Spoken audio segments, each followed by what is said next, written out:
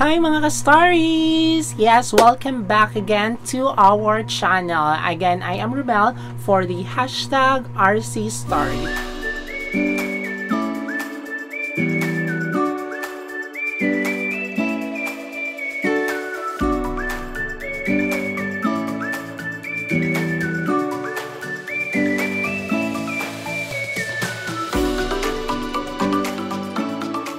For today's video, ako lang mag-isa ngayon kasi busy si Clam sa aming pre-love um, selling, pre-love item selling.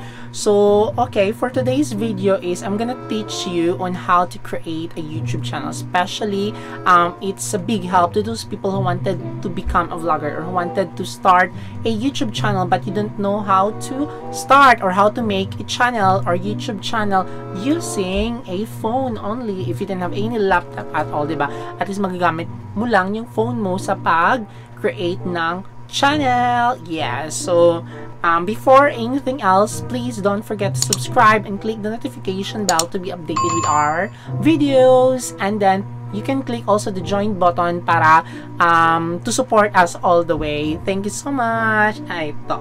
So we're gonna proceed now on how to create a YouTube channel. Okay, so you have your phone, of course. You need, so I'm gonna um, screen record first this um, phone para makita nyo dyan sa screen kung ano yung gagawin natin. Ayan.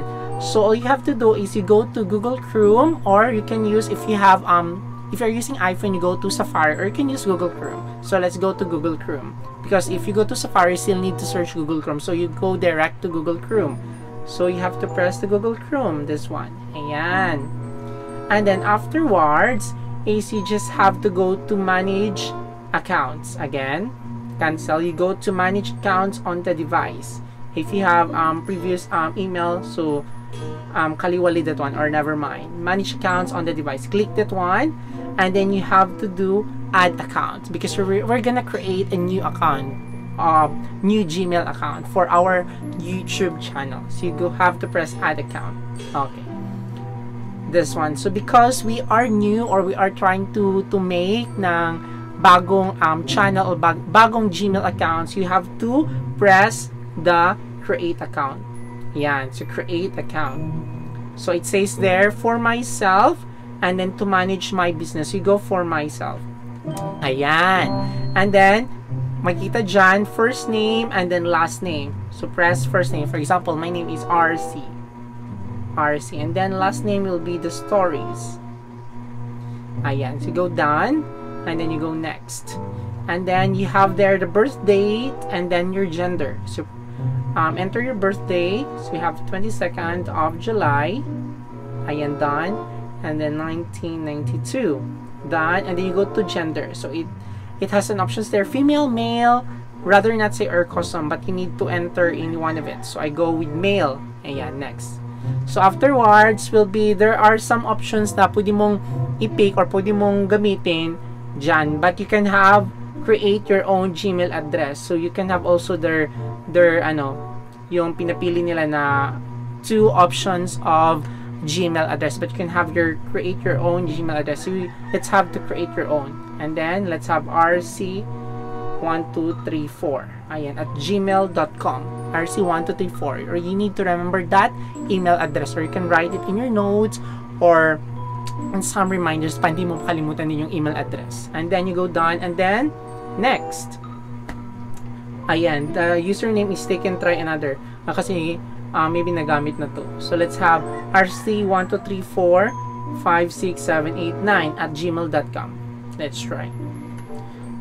Again and then maybe if it's not um, working you have to use the two email address na um, pinapili nila sa'yo. So you have rcstories2 at gmail.com or storiesrc6 at gmail.com. So let's go to storiesrc6 at gmail.com.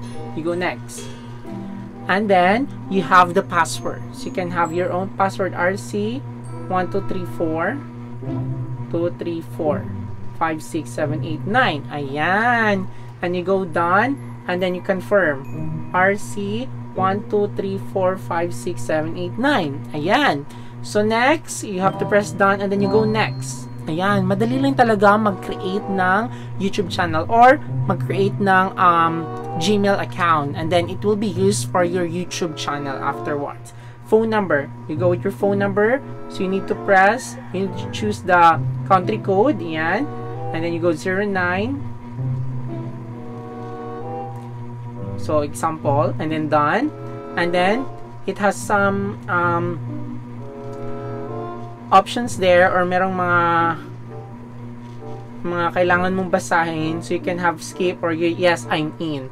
You're in control how it works. If you like you can add this phone's number to your account for your across Google services. So you can go I'm in. Yes ayan. And then magsisend sila ng code sa'yo. So yan. Um yes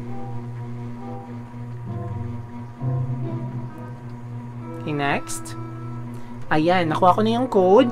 And then, I got my recovery mobile number which is the number na um, in-enter ko dun sa dito sa G, um, email address ko. And then, tapos na na-enter mo yung code, you can go, you can press the next. So, parang successful na yung um, ano natin, paggawa ng new Gmail account. So, ayan, you need to agree to the um, privacy terms or terms and conditions of the Gmail Yan, I agree. Yan. But of, oh my God, ano nga ba yung email address ko? Ayan.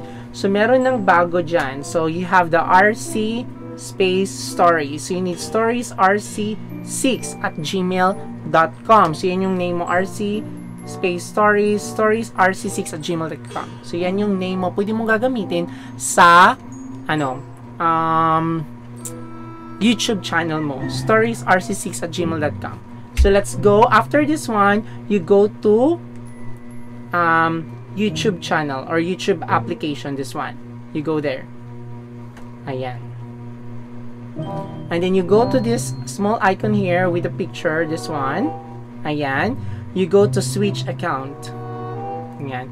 You need to add an account.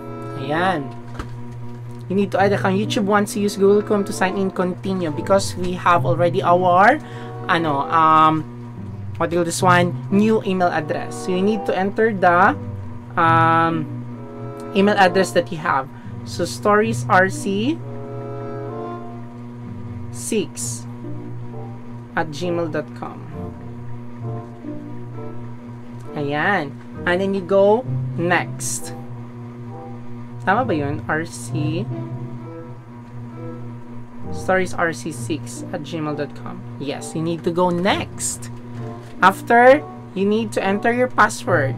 Yes, you know already your password. So, no need to worry. But, always remember na uh, mag-record kayo ng mga password ng mga email nyo. Or especially this one, if you're gonna make a YouTube channel or you have your new Gmail account, you need to um, remember those passwords and email address. Yes. Ano, saan na ba tayo? So, I have this one. Yan. Done. Next. Ayan. Ayan. So, naka-create na ako ng YouTube channel. So, it says there, RC. Ayan. So, you go. So, you need to press, again, this small icon with your name, RC, kasi wala pang picture. And you go to your channel. Ayan, makikita mo dyan, RC Stories. But you can, um, what do you this one, edit your name in your channel. So, I don't want to use RC Stories. So, let's have, um, what's your first name probably? Um, let's have Cutie. And then me. Ayan. Cutie me. And then, you create your channel. So, pag press mo nito, meron ka ng channel. So, you can upload now videos, um, um, kahit mataas, mahaba, you can you can have your own content or concept of your content para mas maganda, para mas ma-trendy. So, yan. Press create channel. Ayan, cutie me! Ayan, meron na akong channel. And then, press again, check again your channel. You go to this small icon, RC. Ayan, your channel.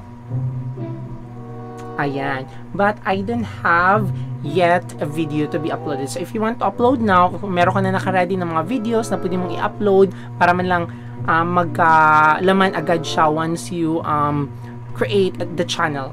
So, you can go to create. this one. But you can also edit your channel. You can put um um what this one profile picture or you can also put a cover photo of here. So you can edit. You can check also in the what do this one in um, Google um, what's the size of the cover photo that you need to um, what do this one na kailangan mong i-edit para mas ma ma-fit siya at saka yung profile pic. So gumawa ka ng ng bongga, mas gumawa ka ng yung catchy or very yung maganda tingnan. Yung parang wow, ang ganda naman ng channel na to, 'di ba? Again, so you can have press create if you want to upload a video. So it says there upload a video and go live. And and then If you have videos na, you can edit also in some um, applications in your phone. If you didn't have laptop for editing, you can use some applications sa phone na pwede mong edit. So, meron din akong next vlog niyan kung ano yung mga different um, applications that you can use for editing in thumbnails for the videos na i-upload mo. So, yan yung makikita, uh, makikita sa screen or sa what this one, monitor ng phone, what will this one? yung pag pag scroll up, scroll down natin, makita agad yan yung thumbnails na kung ano yung um, about yung video mo. Yan. So that's it. So nakagawa na tayo ng new YouTube channel, new account in um, Gmail. Okay? So you have now your um, YouTube channel so you can start vlogging, you can start uploading videos, ba? So parang kung wala kang ginagawa sa bahay, so let's just be productive wala kang gagawin kung hindi ka busy, especially this time of crisis, this pandemic crisis, you can be productive. You can become a vloggers. You can have your daily routine. You can have also the different challenges, the different um, you can have your own content or concept of content. I have also some um, videos down there, some challenges that you can use for your content. So that's it. So thank you so much again, mga ka-stories, for watching. Again, this is Ramel for the hashtag hashtag RC. Yes. So see you again next time mga ka-stories and please don't forget to subscribe and click the notification bell to be updated with our videos. So bye! Don't forget to like, share, and comment. See you again! Bye!